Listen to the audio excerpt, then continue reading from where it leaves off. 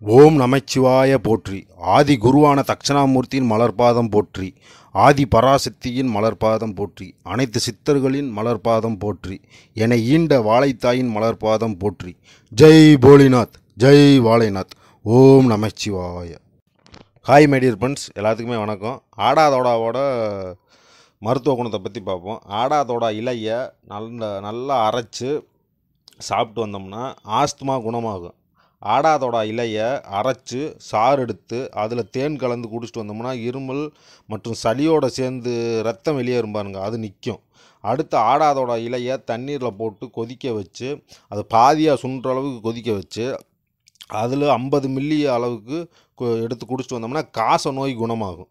அடுத்து ஆடாதோட இலையை கஷாயம் வச்சு குடித்தோம்னு வச்சுங்களேன் உடல் குடைச்சல்னு சொல்லுவாங்களே அந்த உடல் குடைச்சல்லாம் குணமாகும். அடுத்து ஆடாதோட இலையை பொடி செஞ்சு அதில் வந்து தேன் கலந்து சாப்பிட்டோம்னா ரத்த கொதிப்பும் மஞ்சள் காமாலையும் குணமாகும். அடுத்து ஆடாதோட இலையை பொடி செஞ்சு அதில் வந்து தேன் கலந்து சாப்பிட்டோம்னா சளி தொல்லைகள் தீரும்.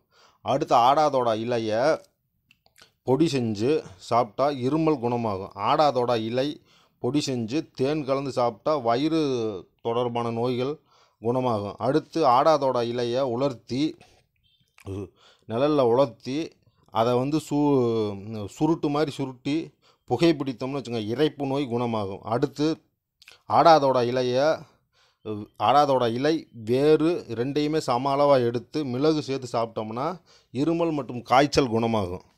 அடுத்து ஆடா தொடா.